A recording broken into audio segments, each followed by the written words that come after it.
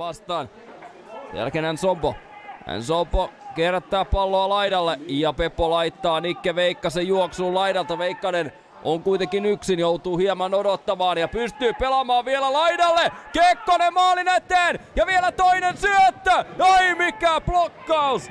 Oi mikä blokkaus Sadkilta, tilanne jatkuu. Seuraava laukaus Veikkanen on aivan vapaana. Pudottaa vielä taakse ja siellä on Leon Augusto. Laittaa tälle ottelulle avausmaalin 47. peliminuutti käynnissä. Augusto maalin edustalta ja pallo jää pitkäksi aikaa pyörimään maalin edustalle, josta Pepo siivoaa sen maaliin. Oli väkevä laukaus, ensin oli paikka. Meronen. Meronen jatkaa ylöspäin.